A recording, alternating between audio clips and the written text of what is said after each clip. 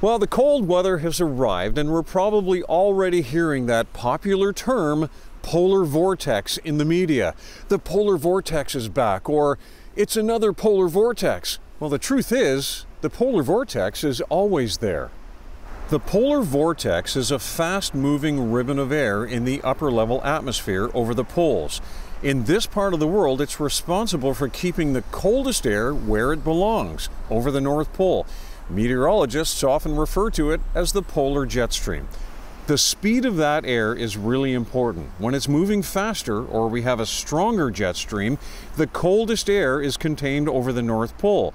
But when the air within the jet stream slows down slightly or becomes weaker, that's when it's time to plug in the car and reach for the heaviest coat you have.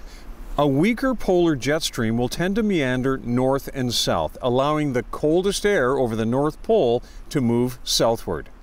So it's nothing new, but it might seem like it's happening with more frequency. So why does the air within the polar jet stream slow down or weaken in the first place? Many climate scientists think that it's due to the warming of the poles and that climate change may be responsible for more cold air outbreaks in wintertime.